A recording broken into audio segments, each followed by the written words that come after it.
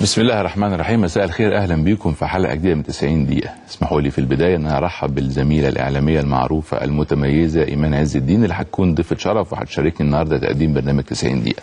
أهلا بيك يا إيمان. شرفتينا. يا عمرو. أنا مبسوطة بجد إن أنا موجودة معاك النهارده وعلى شاشة المحور شاشة بقدرها وبعتز بيها جدا. وبرحب طبعا بكل الناس اللي بيتابعونا بيشوفونا النهارده. أنا برحب جدا بيكي وبرحب. بمصر الحلوة الحلوة بأهلها وناسها. وهتفضل إن شاء يا الله. رب إن شاء الله. أهلا بيكي آه إيمان هتكون معايا النهارده ضيفة وعايز أقول لكم إن أنا وإيمان رسالتنا رسالة واحدة. لكل إنسان في مصر بيعمل في مهنة الإعلام النبيلة وبيعمل بالسياسة أو العمل العام. رسالة واحدة بتقول مصر لازم تكون صف واحد جسد واحد كلمة واحدة إيد على إيد في مواجهة أكبر وأصعب وأخطر اختبار بيعيشه المصريين الأيام دي. مصر اللي إحنا عرفناها اليومين دول على المحك. أخلاقها سماحتها ثقافتها حضارتها وطيبة أهلها كلها على المحك. والاختبار اللي بيعيشه المصريين اليومين دول هو اختبار للجميع دون استثناء. اختبار للرئاسة للحكومة للأحزاب للتيارات السياسية والمعارضة. اختبار للشباب وللكبار ولحكماء الأمة ورموزها. اختبار لرجال الفكر والقانون والإعلام والصحافة. لكل صاحب رأي وصاحب قلم والكل صاحب ضمير. بكرر لكل صاحب ضمير خايف على البلد دي وعلى مستقبل اجيالها والاختيار الكبير والاختبار الكبير لجميع هذه الأيام هو اختبار واختيار بين الدم وبين حقن الدم ووقف النزيف بين الغضب الأعمى والحوار والتفاهم. الاختيار الصعب اللي التاريخ هيحاسب الجميع عليه هو بين ضياع مصر وأمن مصر بين الفوضى وبين الاستقرار. والنهاردة إحنا 90 دقيقة بنقول من قلبنا لا للدم لا لتقسيم مصر لا للحقد والكراهية لا للقمع والعنف والغضب الأعمى. اللي بيحب مصر ما يهددهاش ما يطعنش في شرف رموزها وما يوزعش عليهم سكوك الوطنية والكفر والإيمان. هي دي رسالتنا النهارده ومن النهارده ولغاية 30 يونيو وبعد 30 يونيو وفي كل أيام السنة. لا للعنف. دم المصري حرام. تقسيم مصر وتخريب مصر حرام. الأجيال هتحاسبكم وهتحاسبنا والتاريخ مش هيرحم حد. وربنا يحمي مصر ويحفظها من كل سوء. بكرر الترحاب بيكي مرة تانية. ميرسي يا عمرو ربنا يخليك. وأنا يعني الحقيقة بأيد كلامك جدا جدا. إحنا كلنا مصريين كلنا نسيج واحد النسيج المصري بكل آه، طوائفه وتوجهاته وافكاره ومعتقداته ودياناته هو نسيج واحد عامل زي الطوب الأبيض. ما ينفعش ابدا إن إحنا يعني ناخد جزء من النسيج ده. ما ينفعش. إحنا كلنا مصريين. فاكر صحيح. مشهد ميدان التحرير يا عمرو صحيح. من فوق. كان منظر مهيب الحقيقة. كل هذا الجمع كتلة واحدة من المصريين شرخت اتقسمت. بقينا إحنا الجيران حتى طالعين نازلين على السلم. بدأ يبقى فيه شوية آه، ده مش عارف لابسة نقاب دي أصلها مش ده مش عارف مسلم ده قبطي ليه بقينا عاملين كده؟ عايزين نرجع نحب بعض نفسي تاني؟ نرجع تاني يوم 25 لازم نرجع نفسي نرجع تاني لما كنا بنصلي وكان إخواتنا المسيحيين هم اللي بيأمنونا وهم كانوا بيصلوا وإحنا بنأمنهم. نفسي نرجع لما كنا كلنا صف واحد مش عارفين ده إخواني ولا ليبرالي ولا يميني ولا قومي ولا اشتراكي ولا ناصري ولا عروبي ولا إيه بالظبط. كلنا كنا واحد ما كانش في فرق بيننا. وستات ورجاله إيد في إيد جنب بعض في ميدان التحرير. الست المصرية الجدعة كانت واقفة في الميدان بتساعد إيد بإيد وجنب بجنب جنب الراجل بالظبط. ما كانش في أي فروقات من أي نوع.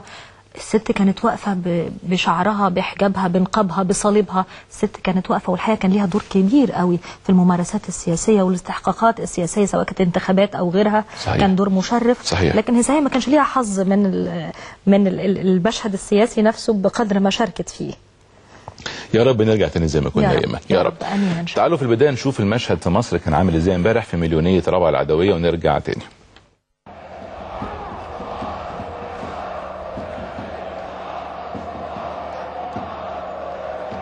في ميدان رابع العدوية بمدينة نصر احتشد عشرات الآلاف من المنتمين لأكثر من ثلاثين حزبا وحركة سياسية في مليونية لا للعنف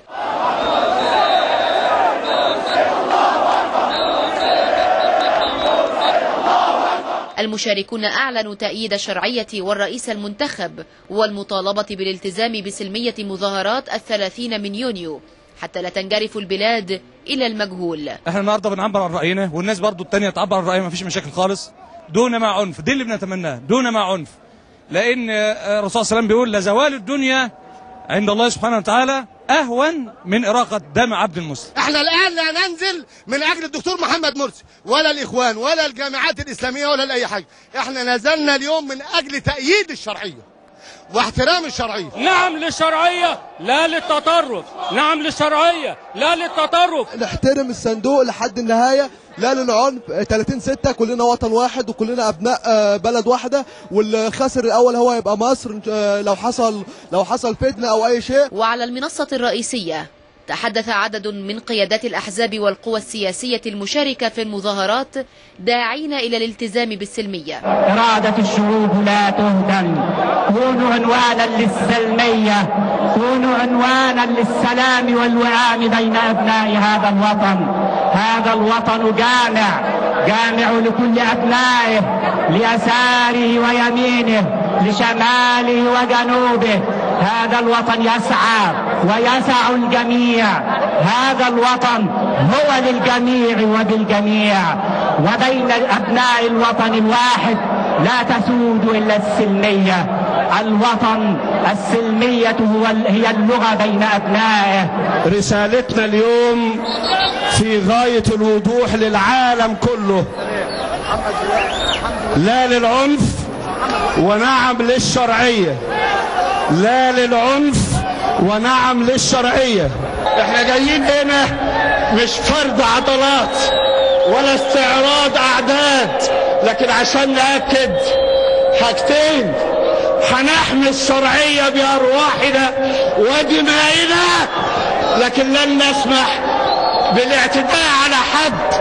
حتى من معارضينا هنحمي معارضينا ولن نسمح بقطرة دم واحدة في هذا الوطن سوف تبنون هذا الوطن بهذا الفكر الراقي وسوف تبنون هذا الوطن بهذا الجهد الوافر فلنضع ايدينا في ايدي بعضنا ايد واحدة ايد واحدة ايد واحدة ايد واحدة تبني الاوطان ولا تقطع الطرقات ايد واحدة تعمر هذا البلد ولا تقطع مترو الانفاق ايد واحدة تستخدم القلم والفكر والعقل ولا تستخدم المولوتوف والرصاص. وفي نهاية اليوم غادر المتظاهرون مرددين شعارات تطالب بالحفاظ على شرعية الرئيس ونبذ العنف ومرور الثلاثين من يونيو بسلام.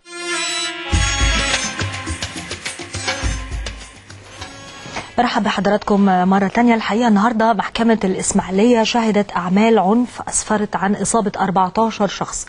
كان بينهم ضابط ومجند وده كان بسبب هتافات مؤيدة وأخرى معارضة للنظام داخل قاعة محكمة الإسماعيلية اللي كانت بتنظر النهاردة قضية هروب المساجين من سجن وادي نطرون أثناء الثورة. آه القضية حجزها المستشار خالد المحجوب رئيس هيئة محكمة مستأنف الإسماعيلية للحكم باكر يعني بكرة الصبح.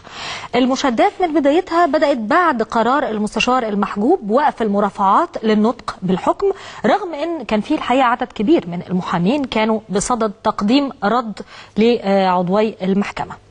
آه محتاجين أكيد تفاصيل أكتر عن هذا الموضوع آه نفهمها من خلال اللواء محمد عيد مدير أمن الإسماعيلية. سيادة اللواء مساء الخير. أهلا مساء الخير يا فندم. أهلا بحضرتك. يعني عايز أعرف بداية إيه اللي حصل في جلسة نظر قضية هروب المساجين من سجن وادي نطرون النهاردة وخاصة أنه القضية دي تحديدا يعني ناس كتير منتظرة تعرف آه يعني آخر ما وصلت إليه. هو النهارده حضرتك كان في قضيتين معروضين متعلقين بواقعة الهروب من سجن وادي النطرون. القضية الدعوة الأولى وكانت تاني دعوة لرد عضو اليمين والشمال في الدايرة اللي بتنظر في جنح المستأنف قضيه الهروب من وادي النطرون. ودي تم نظر الدعوة والقاضي أجلها لجلسة 6 7 للنطق بالحكم في عملية قبول أو رد قبول رد عضو اليمين والشمال.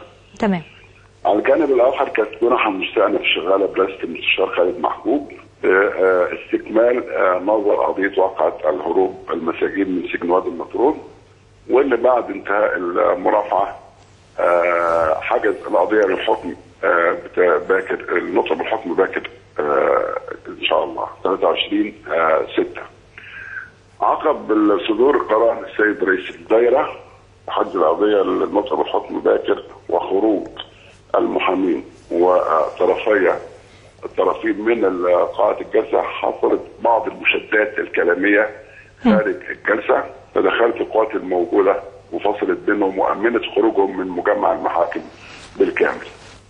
تمام. لكن اللي حصل بعد كده إن عودوا التجمع مرة أخرى وتشابك الطرفين مع بعض عن طريق دشق بالحجارة. يمكن إحنا وحضرتك بتتكلم معانا بنتابع دي طبعا مشاهد مسجلة لمدار آه، داخل قاعة المحكمة في أثناء آه، وقائع المحاكمة. آه، لكن يا فندم يعني حصل تواترت أخبار أنه آه، رئيس المحكمة المستشار خالد المحجوب تلقى تهديدات بالقتل. فعايزين نعرف إيه مدى مصداقية الكلام ده؟ مستشار خارج خالد المحبوب وأعضاء الدائره بالكامل آه، تحت التأمين آه، جيد مش من النهارده من بداية نظر القضية آه، وفي كل تحركاتهم وقامتهم وأثناء نظر ال- القضية أو القضايا الأخرى آه، في تأمين جيد بالنسبة له المحكمة بصفة عامة مجمع المحاكم بصفة عامة اللي بتقع في نطاقه ال- دائره الجناح المستأنف مؤمنة آه، جيدا من داخل وخارج المجمع. وبكره إن شاء الله في تعزيز لإجراءات التأمين. وأحنا آه، يعني المحكمة خط أحمر. طبعا. السماح بأي تجاوز داخل أو في نطاق أو في حالة مجمع المحاكم بالكامل إن شاء الله. طيب اللي حاصل قدامنا ده يعني بأي حال من الأحوال تعتبر مهزلة. آه، إيه المانع أن ده يتكرر تاني؟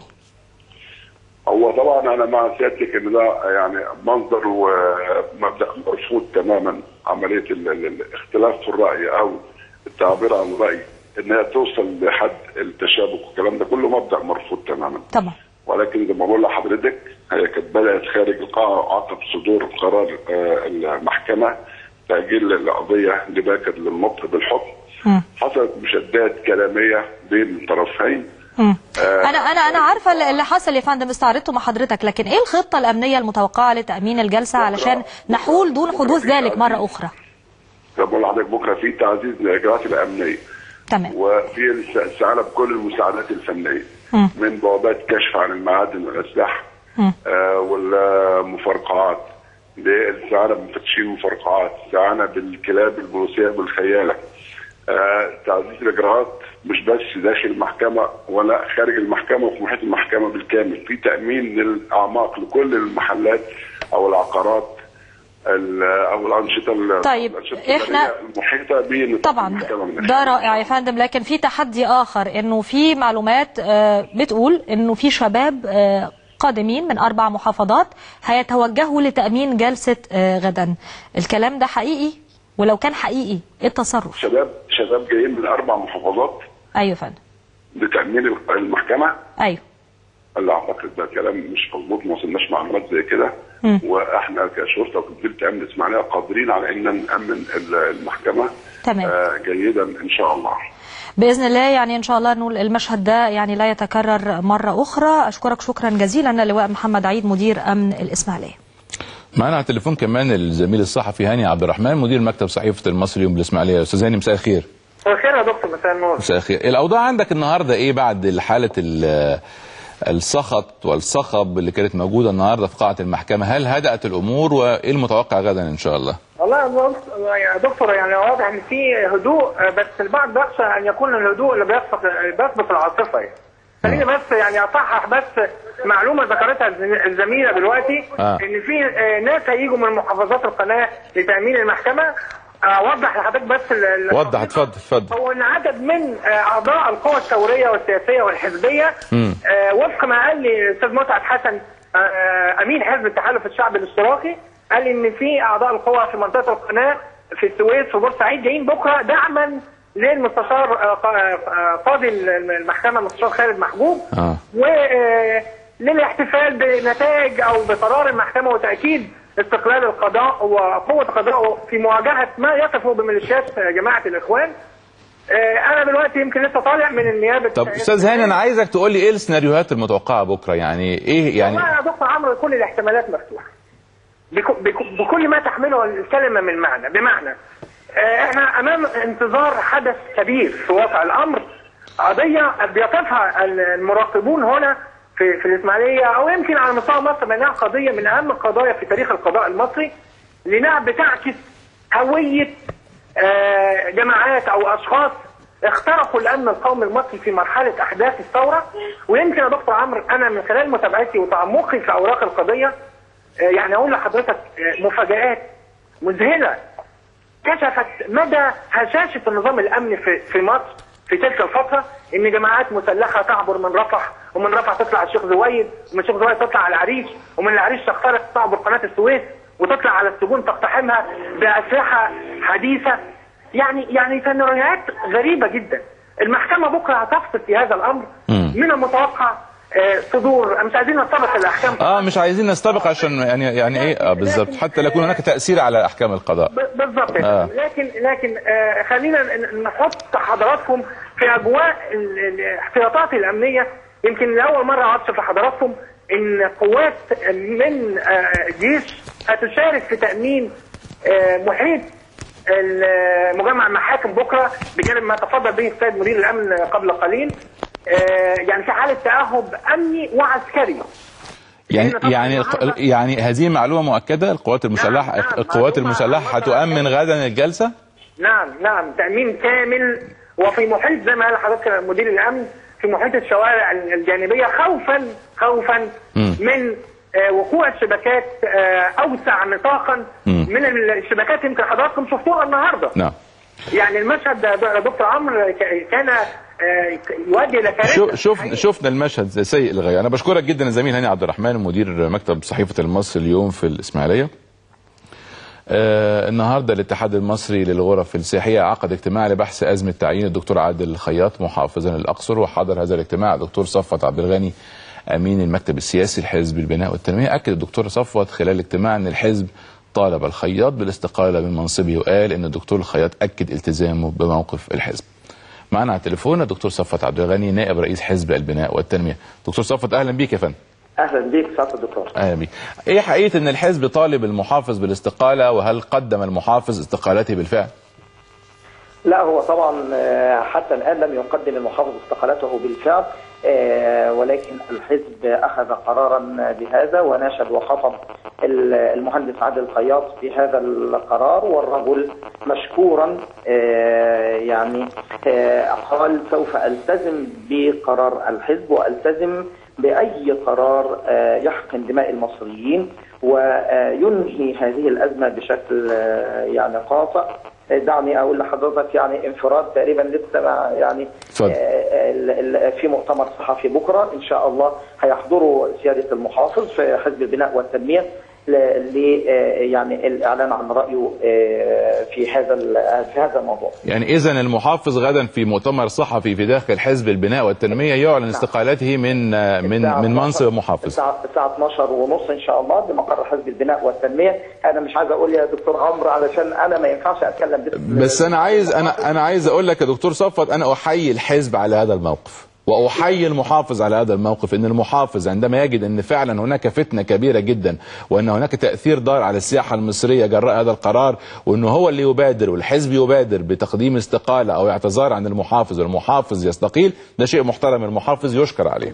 يا دكتور عمرو أنت عارف إن الحزب قدم نموذج في التوافق الوطني أو نماذج حقيقة في التوافق الوطني آه، في مواقف كثيرة.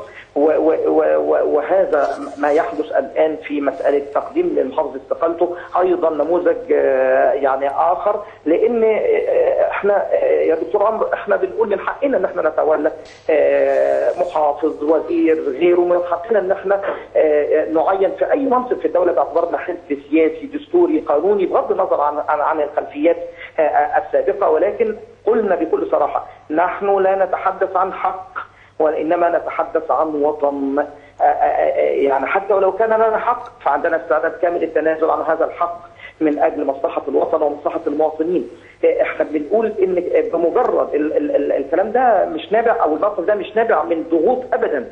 وأنا رحت النهارده لغرف السياحه وقلت لهم هذا الكلام. قلت لهم إحنا بمجرد ما ما, ما صدر القرار ولقينا في معارضين للقرار وقفوا عند المحافظة رغم إن حزب البناء والتنمية هل أنتوا كحزب كنتوا موافقين أنتوا اللي رشحتوا المحافظ أو كنتوا موافقين حتى على قرار تعيينه كمحافظ؟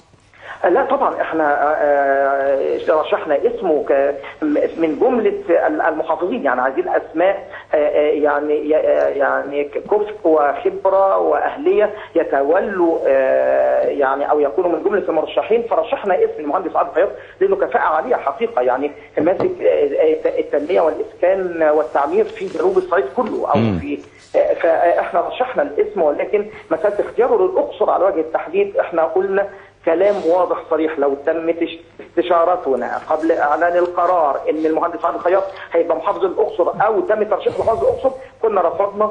وقلنا إن في حساسية في مسألة ال- ال- يعني آه، آه، محافظة الأقصر. وإحنا وجهة نظرنا عموما وجهة نظرنا عموما ان آه، يعني ندع يعني هذه المحافظة لرجل له في مجال السياحة وله في العلاقات الدولية وكذا. يعني في معايير معينة يمكن اختيار محافظ الأقصر بناء يعني عليها. إحنا دعني يا دكتور عمرو أقول لحضرتك بمجرد أن صدر القرار وبمجرد إن إحنا عرفنا إن في معارضين هذا القرار رغم إحنا مش عايز أتكلم بهذه اللغة لكن دعني إن أنا أقول رغم إن أنا عندي القدرة. والعدد اللي يسمح للمحافظ انه يدخل المحافظة قلنا المشكلة مش مش, مش مشكلة قدرة أو إن أنا أقدر أدخله ولا ما أدخلوش. مش هتولى هذا المنصب حتى لو كان هناك معارض واحد. ده كلام جميل. خليني أسألك في هذا الإطار في محافظات أخرى غير الأقصر فيها مشاكل خاصة بالمحافظين؟ بماذا أنت نصح هؤلاء المحافظين اللي أهالي محافظاتهم رافضين وجودهم أو توليهم هذه المناصب؟ والله يا دكتور عمرو عشان أكون منصف ومنطقي لو كان هناك سببا موضوعيا موضوعيا يجب الاستجابة ليه، أما إذا كانت أسباب صراعات سياسية أو مكايدات سياسية أو غيره لا أنا مش مع ده، حقيقة في قرار والكلام ده أنا قلته، قلت قلت قرارات رئيس الجمهورية يجب أن تحترم. ولكن إذا اصطدمت بمصلحة الوطن فمن يعني في هذه الحالة في هذا يعني لسبب موضوعي لا يجب إن إحنا نحفظ الوطن ونبعد عن هذه المناصب. فأنا بقول بكل صراحة ووضوح لو هناك مبررات موضوعية وليست مكايدات سياسية وليست معارضة من أجل المعارضة وليس آه، مسألة اعتراض من أجل إسقاط هيبه قرارات رئيس الجمهورية هذا ما- أرفضه تماما. لكن في حالة الأقصر لا أنا شايف سبب موضوعي. شايف ناس متخوفة شايف ناس حاسة إن القرار ده ممكن يأثر على لقمة عيشها. فبالتالي لا في في مبرر موضوعي موجود فبالتالي إذا وجد المبرر الموضوعي يجب أن يتخذ القرار بكل شجاعة وبكل صراحة شكرا جزيلا دكتور صفوت عبد الغني نائب رئيس حزب بناء والتنمية اللي أكد أن غدا السيد محافظ الأقصر الأستاذ الدكتور عادل الخياط سوف يعقد آه، مؤتمر صحفي في مقر حزب البناء والتنمية لإعلان استقالته من منصبه كمحافظ للأقصر. أظنها خطوة إيجابية. طبعا. آه. آه. وأعتقد إنه فعلا في مشكلات تانية زي ما أنت قلت يا عمرو في باقي المحافظات. يعني أعتقد إن ده يكون نموذج جيد. آه الاعتراف بالخطأ مش عيب. بس الأهم منه إنه ما يتكررش تاني. بس خليني أسألك مش أفضل إن إحنا يعني في أوروبا والدول المتقدمة بيختاروا المحافظين بالانتخاب؟ طبعا. إحنا ليه ما نختارش محافظ بالانتخاب عشان يبقى يعني عشان الصداع اللي بيجي لنا كل مرة مع تغيير كل محافظ؟ طيب هتوجه سؤالك ده لمين؟ أوجهه للقيادة السياسية أو يعني أوجهه للمجلس الشورى أوجهه للبرلمان القادم. يعني لازم يحطوا في الاعتبار إن الفترة اللي جاية لازم يتم اختيار المحافظ بالانتخاب.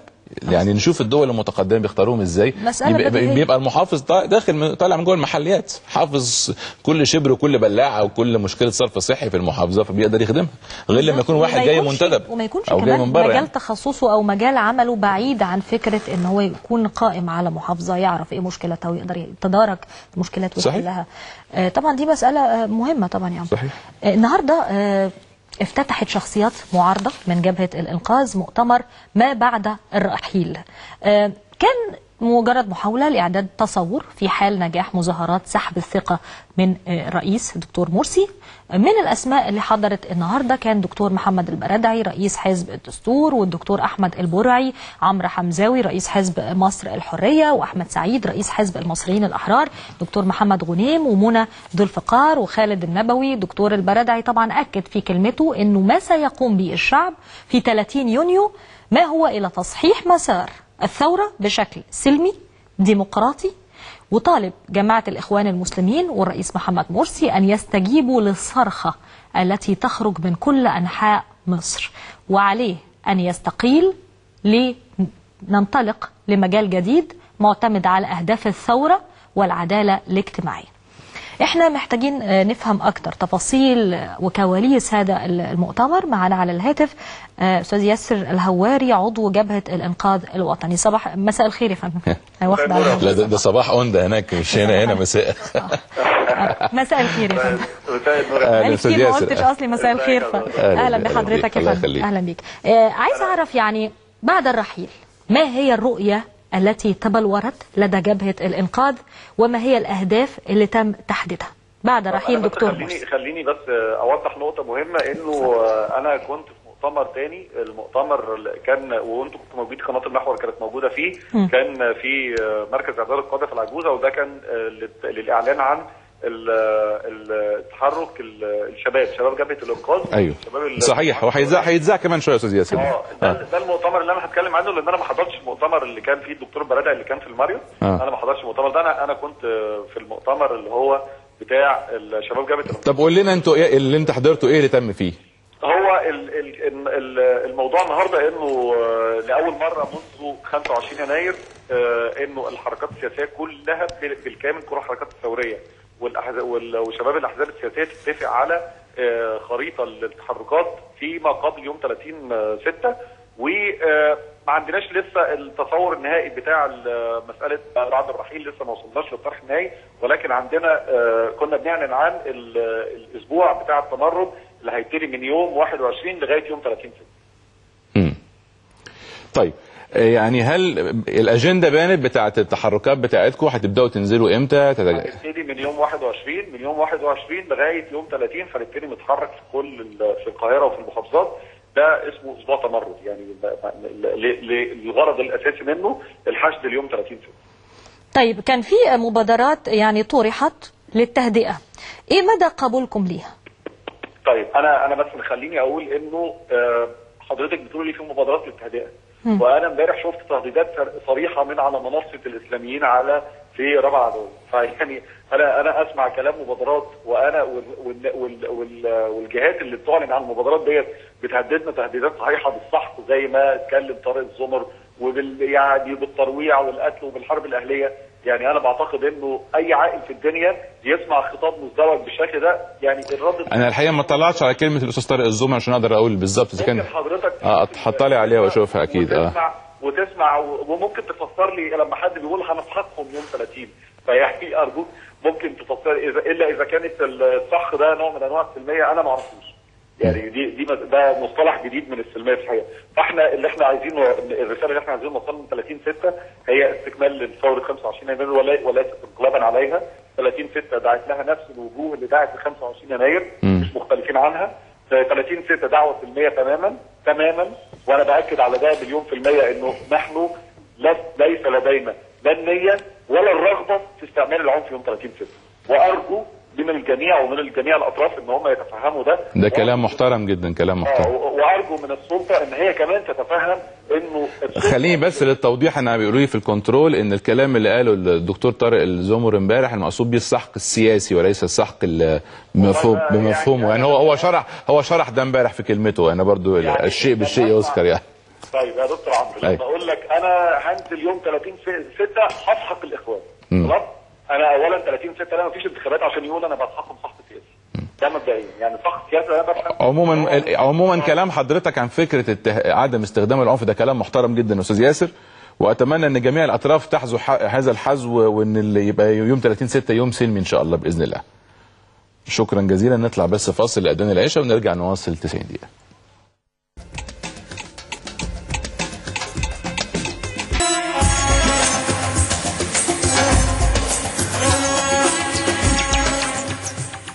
أهلا بحضراتكم من جديد بعد أن تم رفع أذان العشاء. النهارده عبر المكتب الإعلامي لرجل الأعمال المهندس أحمد أبو هشيم عن اسفه الشديد للزج باسمه في الصراعات السياسية اللي بتمر بها مصر دلوقتي وأكد أنه ليس له أي علاقة بأي فصيل سياسي ونفى تماما ما تم تداوله على إحدى صفحات الفيسبوك من مزاعم عن حضور المهندس أحمد أبو هشيم الاجتماع داخل شقة بمنطقة رابعه العدوية مع عناصر من جماعة الإخوان المسلمين منهم المهندس خالد الشاطر والدكتور محمد البلتاجي والدكتور عاصم عبد الماجد وآخرين وشدد المكتب الإعلامي رجل الأعمال أحمد أبو هشيمة على إنه سيتخذ كل الإجراءات القانونية حيال تلك الواقعة. عشان نعرف حقيقة هذا الخبر وإيه اللي حصل بالظبط معانا على التليفون رجل الأعمال المهندس أحمد أبو أشبيه مساء الخير يا فندم. ازيك أهلا بك الله يخليك. ربنا يخليك. عايز أعرف من حضرتك حقيقة ما نشر هذا الاجتماع وهل فعلا في لقاءات تمت بينك وبين قيادات من جماعة الإخوان المسلمين وحزب البناء والتنمية الذراع السياسي للجماعة الإسلامية؟ والله يا دكتور لما بسمع الكلام ده بقيت بضحك خلاص. يعني الأول كنت بتضايق شوية دلوقتي حاجة تضحك لأن يعني إيه علاقتي أنا بجماعة الإخوان المسلمين وإيه علاقتي بحزب البناء والتنمية وإيه علاقتي بالسياسة أصلا؟ أنا راجل بعد الثورة قررت إن أنا أشتغل وكان عندي أمل كبير جدا وما زال عندي أمل في بلدي. وبعد ثورة عظيمة بشتغل من أيام المجلس العسكري ماليش قررت إن أنا مش هتدخل في أي سياسة. راجل أبقى مثقف سياسيا دي حاجة أنا مواطن مصري في الآخر ليا رأي بس رأي واحد. ولكن ولا حزب ولا جماعة ولا جمعية ولا ولا لجنة ولا أي حاجة تعمل حتى اتحاد الصناعات ما رضيتش أدخل الانتخابات. قلت عشان ما حدش يقول عايز مناصب وعايز وعايز وعايز. إنما طبعا إن أنا أنفي معلومة إن أنا مش تبع فصيل سياسي واولهم الأخوان المسلمين للمره المية وألاقي تداول آه، في في في الفيسبوك من إحدى صفحة اسمها وكالة أنباء البرادعي ولا مش عارف اسمها إيه الص- ال- الصبح ألاقي خبر زي ده واجتماع ومش عارف إيه وكلام كله كذب وتلفيق فطبعا أنا كلمت الأستاذ جميل. سعيد المحامي وراح آه،. ل... قدم بلاغ عند النائب العام وقدم بلاغ لل... للمباحث الجرائم الإلكترونية. آه، لأن طبعا آه، يعني آه، أستاذ عمرو دكتور عمرو الموضوع إن إن الواحد بيشتغل وبينحت في الصخر مش أنا بس كل الناس اللي شغالين في القطاع الخاص. يعني لما تبص على الدولة دلوقتي مع احترامي لكل مؤسسات الدولة المؤسستين الوحيدين اللي لسه لغاية دلوقتي واقفين على رجليهم صراحة هم المؤسسه العسكرية ومؤسسة رجال الأعمال أو مؤسسة القطاع الخاص اللي فيها 18 مليون واحد بيشتغل. صحيح. فالنهاردة مش ممكن نقعد نهدم نهدم. ده أنا راجل كل كل مرة بقول أنا ماليش دعوة بالسياسة أنا ما أعرفش حد في جماعة الإخوان المسلمين. أنا شكرت مرة في ال في الحاج حسن مالك قلت عليه راجل طيب وبقالي أربع شهور ولا خمس شهور حتى ما شفتوش ولا ولا أعرف عنه حاجة.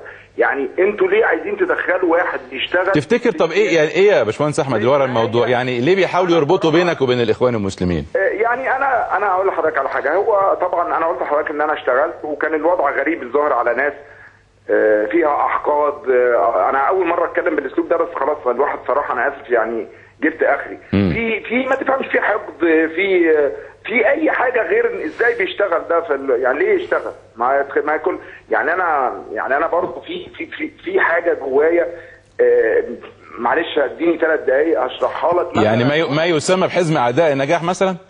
ده أكيد 100% وبعد كده يا فندم أنا مش ذنبي إن الإخوان مسكوا. أنا بشتغل من شهر تل- شهر 3 2011 قررنا نكمل أنا وشريكي الشيخ محمد بن سحيم في مشاريع حديد المصريين. ومش متخيل كم وحجم المشاكل اللي مقابلنا من دلو... من ساعة ما كمل قررنا نكمل لغاية دلوقتي. وأنا إن شاء الله بإذن الله أنا في نص البحر. والكلام ده مش هييأسني يعني أنا بقول لهم لو أنتوا عايزين تيأسوني وأزهق وأمشي زي كل الناس اللي مشيت أنا كل ما أملك حطيته في مصر. فأنا مش همشي. ومش همشي حتى لو كان عندي حاجة بره مش همشي. فأنا بقول لهم أنتوا يأسوا لأن أنا مش هيأس. و- وبرضه كل ما بتطلعوا عليا حاجة على فيسبوك تويتر ما عندهمش غيرهم أو جورنال ممكن يكتب ياخد نقلا عن بطلع زي ما حضرتك وهطلع وبرد لأن كله كذب. أنا مش هدخل في السياسة يا دكتور. أنا شايف أنا بحيي كل الناس ورجال الاعمال والناس اللي في القطاع الخاص اللي استحملوا السنتين اللي فاتوا ولسه مستحملين لغاية دلوقتي ال- المشاكل وال- والظروف الاقتصادية الصعبة وال- وال- والمشاكل ال- عدم وجود إدارة حقيقية في الاقتصاد الناس دي مكملة لغاية دلوقتي بتقبض العمال وبتقبض الموظفين. أنا بشكرهم وأنا مش عايز مش عايز حد يشكرني بس أنا بقول لحضرتك الظروف اللي إحنا بنشتغل فيها. فأنت النهارده ما ذنب إن هو النهارده رجل أعمال أو أو, واحد بيشتغل في الصناعة وكل مرة بيقول ما تدخلوهوش في السياسة وتلاقي اجتمع في شقه أكنه فيلم هندي فيلم مخابراتي.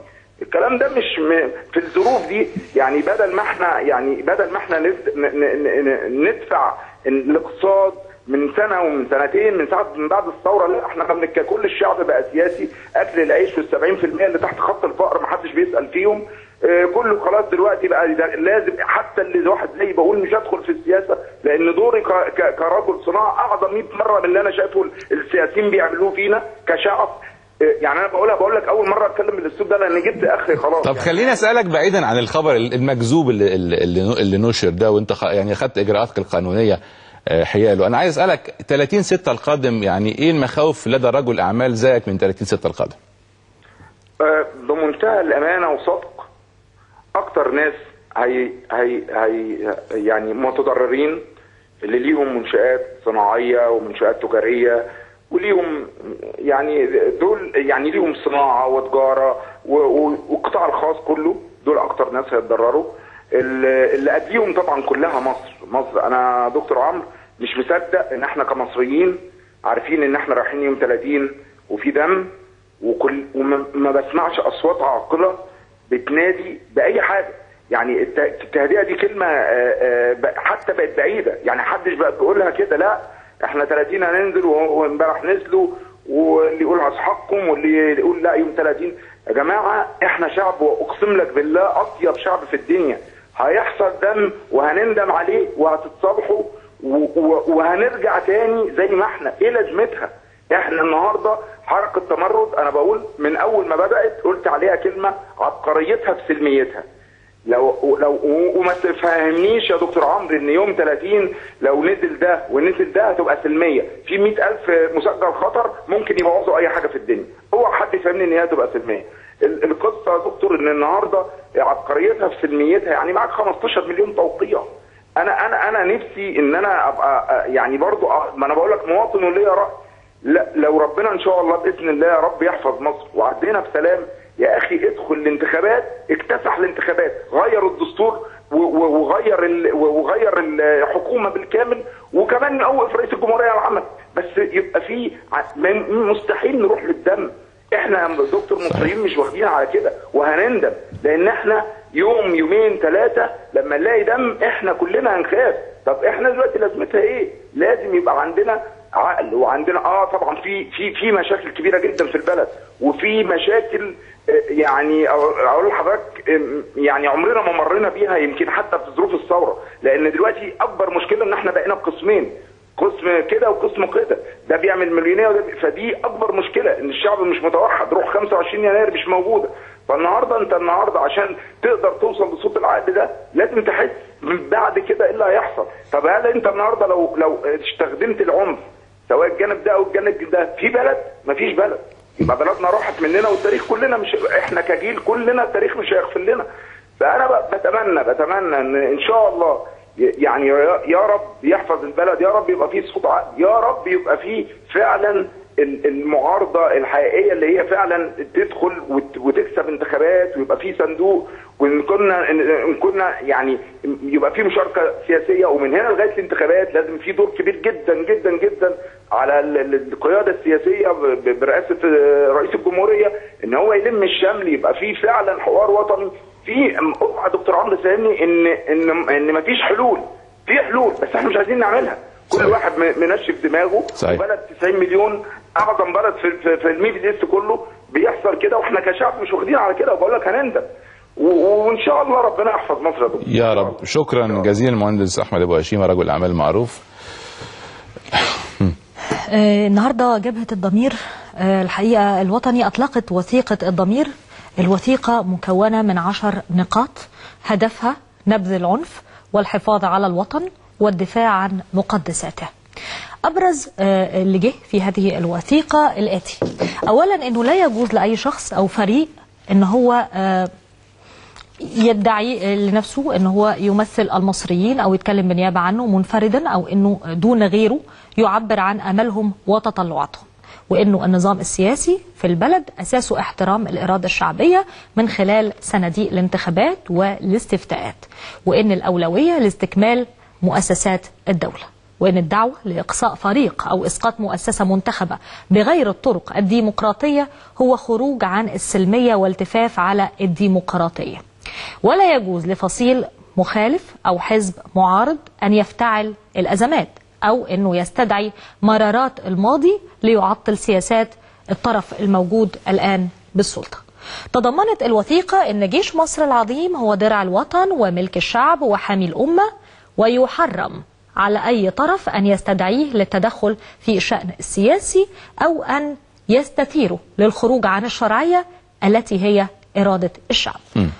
ده ما جاء بالوثيقة ده اللي طلع في البيان بتاع جبهة الضمير. بالظبط هم دول ال- العشر طيب. نقاط.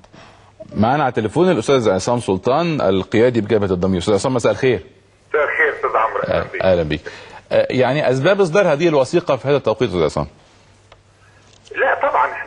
محتاجين يعني عشرات الوثائق والمبادرات ويعني محتاجين عشرات العقلاء ومحتاجين حكماء ومحتاجين مجهود كبير. إحنا في طبعا احتقان شديد وفي أزمة وفي سوء تفاهم بين الأطراف السياسية واستغل هذا السوء التفاهم آه، رموز من النظام القديم ويريدون أن يطلوا برأسهم مرة أخرى بيركبوا على ال- ال- المشكلة دي وبيحاولوا ان هم يتواجدوا بأي طريقة.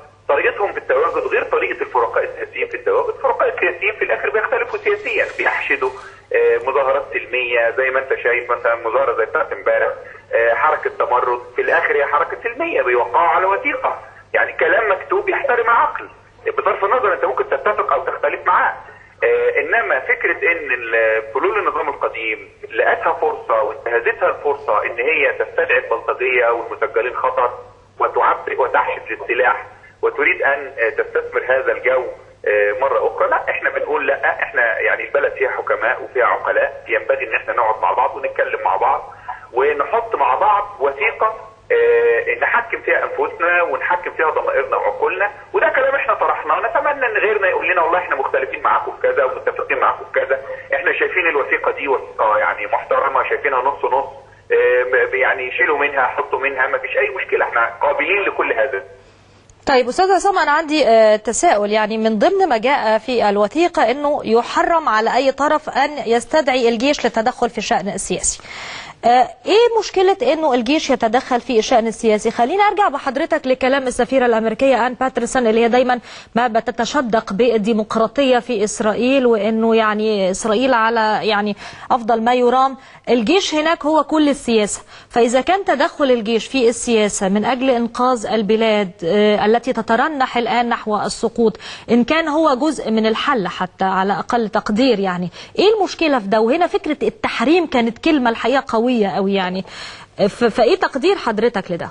هو بصراحة لو في كلمة أقوى من كده كنا استخدمناها ليه يا فندم؟ آه، لأن الحقيقة الذي يملك القرار السياسي هو المواطن نعم العالم كله وفي إسرائيل اللي حضرتك استدليتي بيها تمام. الذي يملك النظام السياسي تغيير النظام السياسي أو آه، إسقاط النظام السياسي طيب. أو تطوير النظام السياسي هو المواطن عبر صندوق الانتخاب إسرائيل منذ إنشائها ونتمنى أن تزول في اسرع وقت بإذن الله نعم. منذ إنشائها في سنة 48 لغاية نعم. النهارده وهي دولة تقوم على احترام اراده الفرد داخل النظام السياسي الإسرائيلي مش احترام إرادة الإنسان كإنسان بدليل إن هي بتموت في الفلسطينيين هي لا تحترم غير اليهودي طيب اذا إذا يا فندم تعارضت المعايير الشرعية مع إرادة الشعب من افتراضك انت بس لوحدك. أنا أنا بسأل سؤال يا فندم. أنا ما افترضتش أي شيء. أنا بسأل حضرتك. ما أنا حضرتك ما هو ما هو ال- ال- اللي حضرتك بتفترضيه السؤال اللي حضرتك بتسأليه هذا سؤال مفرد في العالم كله. لا يوجد في العالم كله سؤال. هذا السؤال لا يتردد لا في أوروبا ولا في أمريكا ولا في الديمقراطيات لأن هناك نتيجة آه، وصل إليها البشر كله عبر اجتهاداتهم عبر مئات ال- السنين. وعشرات السنين وحروب حروب عالمية وحروب داخلية وحروب نعم، أهلية وحروب طائفية وغير ذلك. وأسس لهذا النظام فلاسفة زي فلاسفة الثورة الفرنسية والثورة الأمريكية وغيرهم. وقالوا في الآخر خالص مفيش غير حل واحد بس هو إرادة الشعوب يجب أن تحترم ولا تقف أمامها أي إرادة أخرى. وبالتالي فكرة التعارض اللي حضرتك بتفترضيه هو سؤال افتراضي لا إجابة له لأنه سؤال افتراضي. طب أنا ليا سؤال يا أستاذ عصام معلش بمناسبة إنك أنت معايا النهارده. النهارده نيابة النقد قالت رايها القانوني في جميع الطعون المقدمة من النائب العام المستشار عبد المجيد محمود النائب العام السابق. على الحكم الصادر ببطلان قرار تعيين النائب العام الحالي المستشار طلعت إبراهيم عبد الله وتمكينه من العودة لمنصبه السابق. وجاء رأي نيابة النقد برفض طعون المستشار عبد المجيد المحدد لها جلسة 25 وأكدت النيابة في حيثيات رأيها إن قرار تعيين المستشار طلعت عبد الله نائبا عاما قرارا صحيحا لا يشوب أي خطأ قانوني وان الدستور الذي استفتي عليه شعب مصر ووافقت عليه أغلبية الشعب حصن جميع الإعلانات الدستورية الصادرة من الدكتور محمد مرسي رئيس الجمهورية. عايز أعرف رأيك إيه في هذا الموضوع؟ بص يا عمرو أنا آه، يمكن هتكلم بصراحة وهقول على معلومات حتى ما قلتهاش قبل كده آه. والحكم الذي صدر بشأن بطلان تعيين قرار النائب العام الحالي المستشار طلعت عبد الله هو حكم باطل بطلانا مطلقا من عدة وجوه كثيره لأنه خالف الدستور وتخطى الدستور وبل إنه فسر الدستور في الوقت الذي ينبغي أو يجب على المحاكم أن تلتزم بالقانون مش بالدستور وبس لا بالقانون فضلا عن الدستور. دي نقطة مهمة. النقطة الثانية إن إحنا عندنا مشكلة آه، آه، كبيرة جدا آه، ورثناها عبر 30 سنة من أيام مبارك هو أن هناك بعض القضاء الذين كانوا منتدبين لدى جهات معينة وبالذات القضاة الذين كانوا منتدبين لدى جهات الرئاسه ولدى جهات ترقصها زوجة رئيس الجمهورية المخلوع حسني مبارك وهي السيدة سوزان مبارك كانت بترقص الأمومة والطفولة وغير ذلك وكان هناك البعض منتدبون في هذه المؤسسات هؤلاء البعض خرجت منهم أحكام ربما الحكم الذي نتكلم بشأنه الآن وبالتالي ينبغي أن نقف وقفة في هذا المجال ده موضوع خطير جدا جدا جدا والأيام اللي جاية هتكشفه وهنضطر نطلع كل الب- الاوراق والمستندات اللي كانت بتقول الانتداب ده كان شكله إيه والمخصصات كانت شكلها إيه والعلاقه كانت شكلها إيه. إحنا الحقيقة نتمنى ان هي تيجي من جوه من جوه الأرض إحنا دايما لما بنيجي نتكلم بيقول لك سيب القضاء يطهر نفسه ما تتكلمش على القضاء فاحنا لغايه النهارده ساكتين وأنا شخصيا لغايه النهارده ساكت ومش هتكلم لغايه اما نشوف القضاء هيعمل إيه من جواه. قرار نيابه النقض غير ملزم كما تعلم لمحكمة النقض مظبوط أيوه بس أيوه قرار غير ملزم بس آه. محكمه النقض عايزه تخالف قرار نيابه النقض يبقى يجب عليها ان تناقشه ثم تخالفه مم. ان هي مش الزامي على محكمه النقض ان هي تاخد قرار محكمه آه، نيابه النقض وتقول امين عليه انما لو هي عايزه تناقشه لو هي عايزه ترفضه يبقى يجب عليها ان هي تقول واما ما ذهبت اليه نيابه النقض من راي مفاده كذا وكذا وكذا فانه مرفوض للاسباب كذا وكذا وكذا نعم. شكرا الاستاذ عصام سلطان. عضو جبهة الضمير. معك الخبر. يلا. يلا. النهارده حددت اللجنة العليا للانتخابات الرئاسية برئاسة المستشار ماهر البحيري جلسة يوم الثلاث اللي جاي لنظر الطعن المقدم من الفريق أحمد شفيق المرشح آه، الخاسر في آه، رئاسة انتخابات رئاسة الجمهورية على قرار إعلان فوز الدكتور مرسي برئاسة الجمهورية. وده كان لوجود مخالفات وتزوير بأوراق الترشح لم تقم اللجنة بفحصها. إحنا محتاجين طبعا تعليق على هذا الخبر الحقيقة محتاجين تعليق لأن سبب لأن أنا آه. معلوماتي القانونية المتواضعة إن اللجنة دي اتحلت بالظبط طبقا للدستور الجديد هي. اللجنة الوحيدة آه، اللي, سارية النهارده هي لجنه الانتخابات البرلمانية مم. لكن اللجنة دي دلوقتي هنا معلوماتي استدعائها ليه من جديد النهارده لا استدعاء إيه؟ والاستدعاء ده, كمان يعني أنت عندك مثلا في المستشار عبد المعز إبراهيم ده طلع على المعاش. وعندك المستشار حاتم بجات ده ده بقى وزير. هل هيتم استدعائه مرة تانية؟ مم. وبعدين حتى المقر بتاع الل- ال- ال- اللجنة ده خلاص مش موجود. تمام. هتنعقد فين؟ ومن يرأسها؟ يعني محتاجين حد قانوني. معانا على. التليفون الدكتور جمال جبريل عضو اللجنة التشريعية بمجلس الشورى وعضو الجمعية التأسيسية التي قامت بوضع الدستور أيضا. مساء الخير دكتور جمال. أهلا وسهلا أهلا إيه رأي حضرتك في قرار اللجنة العليا للانتخابات بالانعقاد لنظر طعون لم يتم فحصها؟ والله أنا مستغرب جدا. اولا من حيث وجود اللجنة نفسه المادة 208 من الدستور قالت إن المفوضيه الوطنية للانتخابات دون غيرها. يعني هي لوحدها بس اللي تشرف على الانتخابات البرلمانية والرئاسيه والماده والأحكام الانتقالية إدت للجنه العليا للانتخابات اللي هي تشرف ان تشرف على الانتخابات النيابية القادمة فقط. وتطبيقا لهذه النصوص الدستورية المحكمة الدستورية نفسها في آه، معرض آه، ملاحظاتها على قانون مباشر الحقوق السياسية عندما آه، قرر المشرع أن تتولى اللجنة العليا للانتخابات الإشراف على استفتاء أي استفتاء يتم دلوقتي المحكمة قالت له قالت لا اللجنة العليا للانتخابات الدستور حدد لها مهمة واحدة بس وهي الانتخابات النيابية القادمة فقط. اذا المحكمة الدستورية العليا آه، بتقول إن النصوص الدستورية بتعني أنه لم يعد هناك وجود للجنه الانتخابات الرئاسية وأن دور اللجنة العليا. لا أنا أظن المادة 208 استبقت اللجنة العليا للانتخابات البرلمانية يا دكتور جمال. ال- الأحكام الانتقالية مش 208 آه. الماده المادة في الأحكام الانتقالية. است- استبقتها اللجنة العليا للانتخابات البرلمانية مش لجنة الانتخابات الرئاسية. أيوه. استبقتها وتقوم بدور واحد حدد النص حدده وهي الانتخابات النيابيه القادمة فقط يعني. طيب مين مين اللي ممكن آه مين اللي ممكن يوجه دعوة للجنة للاجتماع من جديد وهل إذا خرجت اللجنة ببعض التعديلات على النتيجة هل من حقها ده؟ لا الحقيقة مش من حقها لأن برضه النص اللي بيتكلم على قرار اللجنة بيقول إنه قرار نهائي غير قابل للطعن أو وقف التنفيذ أو حتى التأويل من أي سلطة. فبالتالي الكلام ده الحقيقة ما أعرفش آه، وحتى حتى على فكره اللجنه نفسه المستشار سلطان طلع معاش والمستشار المعز طلع معاش وتشكيل اللجنة النائب الأول الثاني في مجلس الدولة طلع معاه. أنا مش فاهم يعني تشكيل اللجنه نفسه طب إيه السر يا فندم؟ يعني هل اولا هل هناك سر في هذا الموضوع غير غير غير معلن؟ والحاجة الثانية وهل وهل من حق اللجنة إصدار أي تعديل على النتيجة؟ يعني بما إن الموضوع ها؟ لا لا قولا واحدا ليس من حق يعني مش ممكن اللجنة تطلع تقول مثلا إنها قبلت الطعون وأقرت إن الفريق أحمد شفيق هو الرئيس هو الفائز بانتخابات الرئاسة؟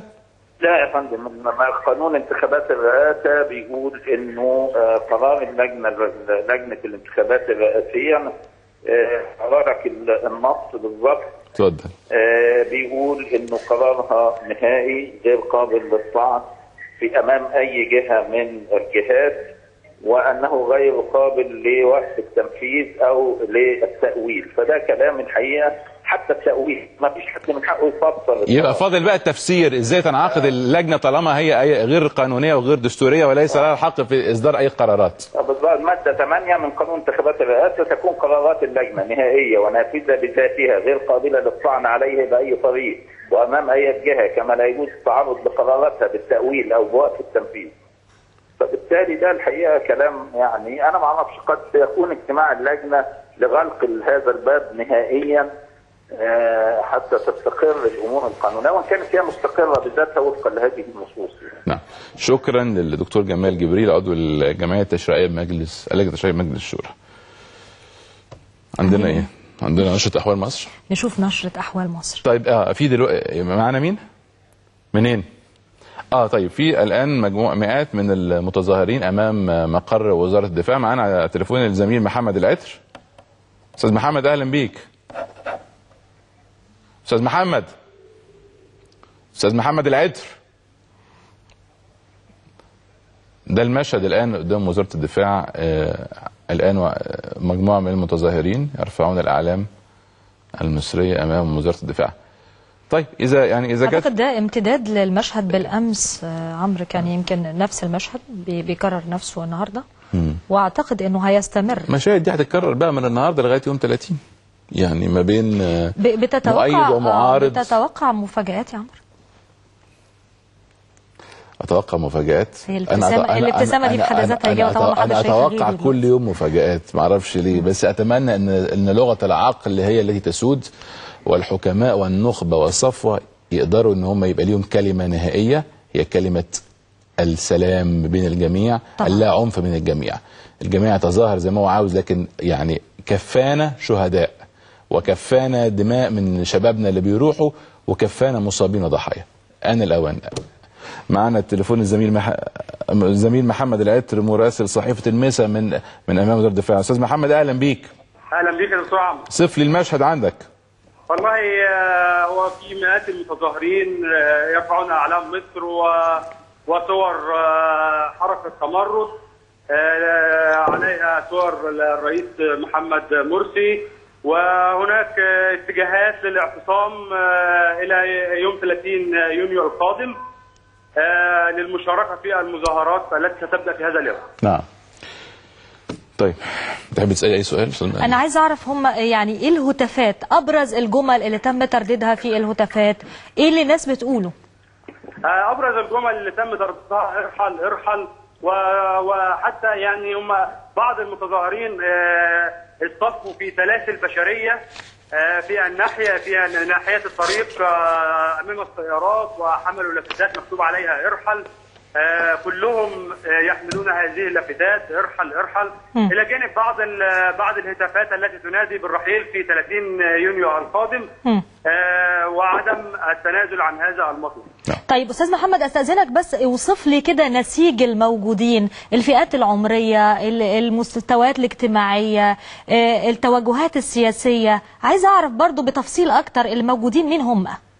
الموجودين يعني يوجد آه، بعض آه، آه، بعض من بعض الموجودين اللي هي جبهة العسكريين المتقاعدين ودول تواجدوا اصرارا منهم على عدم إهانة الجيش المصري على حد قولهم كما ورد على على ألسنة بعض طاقه الإخوان المسلمين في المظاهرات أمس برابعه العدوية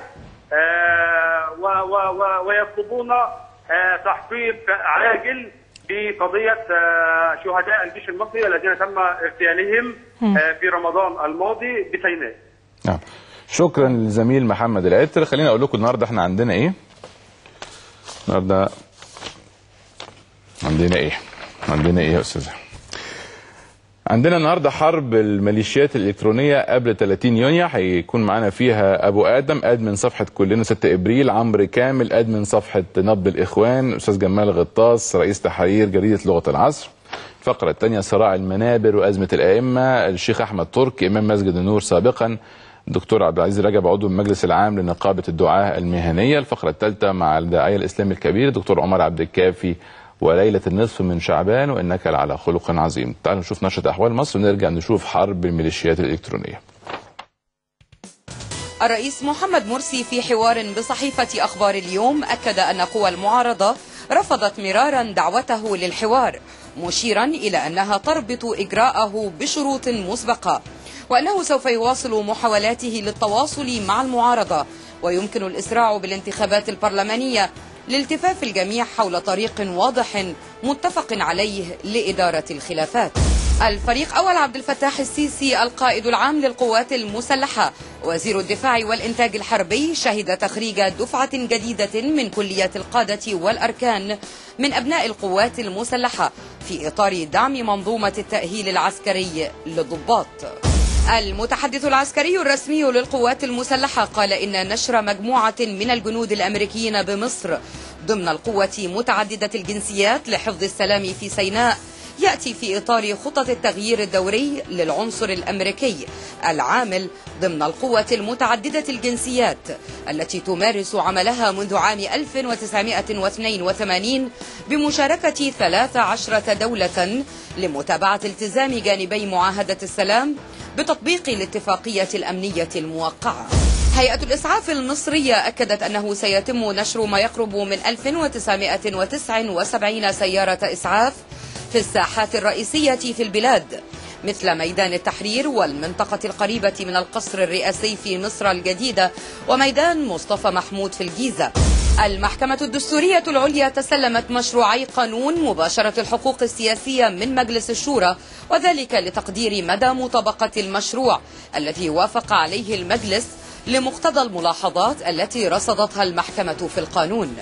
اللجنة القانونية الدائمة للدفاع عن القضاة تقدمت بتظلم إلى مجلس القضاء الأعلى على قرار توقيع عقوبة التنبيه على المستشار محمد الجندي الرئيس بمحكمة كفر الشيخ الابتدائية لقيامه بتعليق العمل بالمحكمة تنفيذا لقرارات الجمعيات العمومية للقضاء. اللجنة التنسيقية اليوم الثلاثين من يونيو.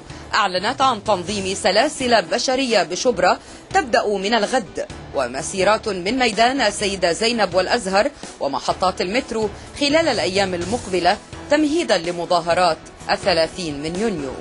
عشرات المتظاهرين أعلنوا الاعتصام في محيط وزارة الدفاع للاستعداد ليوم الثلاثين من يونيو. محافظة الجيزة بالتعاون مع كلية طب القصر العيني نظمت قافلة طبية علاجية بالواحات البحرية لإجراء الكشف الطبي على 1731 مواطنا في كافة التخصصات. الاتحاد العام لغرف الشركات السياحية أعلن وقف الدعم المخصص للترويج للسياحة بالأقصر لحين وضوح الرؤية في موقف الحكومة من محافظ الأقصر الذي يطالبون بإقالته. لجنة الشؤون المالية والشؤون الاقتصادية بمجلس الشورى عقدت اجتماعا مغلقا لإعداد تقريرها بشأن موازنة العام المالي الجديد تمهيدا لمناقشته في جلسة عامة الأسبوع الجاري. وزير الداخلية اللواء محمد إبراهيم اجتمع بجنود وأفراد وضباط وقيادات الأمن المركزي بمقر رئاسة القوات وشدد على ثبات موقف الوزارة إزاء فعاليات الثلاثين من يونيو الرافض للانحياز لأي فصيل.